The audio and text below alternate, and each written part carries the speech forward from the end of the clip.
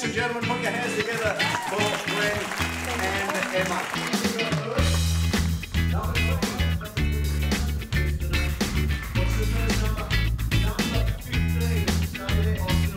We have 33 destinations from the from the 90 applications that have been successful. We have three of those that uh, are in overseas uh, destinations. So we have two in New Zealand and one in Singapore.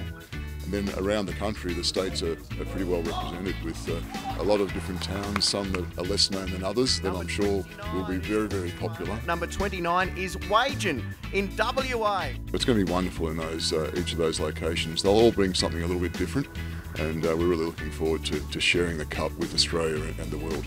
It will be exciting when they, they haven't been told yet because I've been under um, tight-lipped as, as they just told us to be. And when I get home, they'll be copying a lot and they'll be excited because we've had a hard time with uh, drought, fires, flood, virus, knocked the place about a fair bit. The darling of the turf has raced clear three lengths those and it's very elegant. Ten Group 1s and now the greatest of them all, the Melbourne Cup. It's great, isn't it? The 20th uh, edition of the Lexus Melbourne Cup Tour in the 20th anniversary of the partnership with Lexus and now we've just heard an announcement of an extension of another two years. It takes us to 2024 and the partnership keeps growing, keeps getting longer and uh, we couldn't be more delighted. 20 years uh, the VRC and Lexus have been in partnership but we have just extended our naming rights sponsorship of the Melbourne Cup for a further two years. Makybe Diva in front, she's Archie tries hard but Makybe The moment uh, I won my first Melbourne Cup it changed my life. And then obviously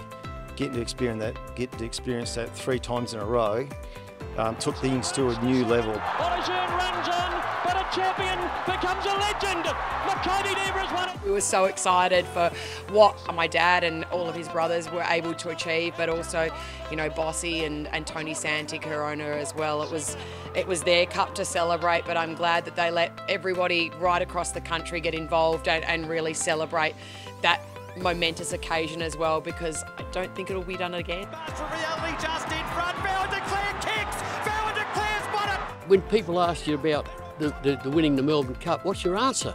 And he said, my answer is, unless you've done it, and Danny O'Brien said it today, uh, unless you've done it, you can't explain it. Congratulations. Thank you very much. I was raised a Catholic and they used to have a thing called the a holy day of obligation. Well, the Melbourne Cup to me has always been a holy day of obligation that you stop everything and you settle in for the afternoon and, and, and nearly cry when the horses cross the line kind of thing. So it's, it's passionate in me, mate. Bloody, I'll start crying in a minute. I'm really happy to get involved this year with the Lexus Melbourne Cup Tour. It's going to be a huge event.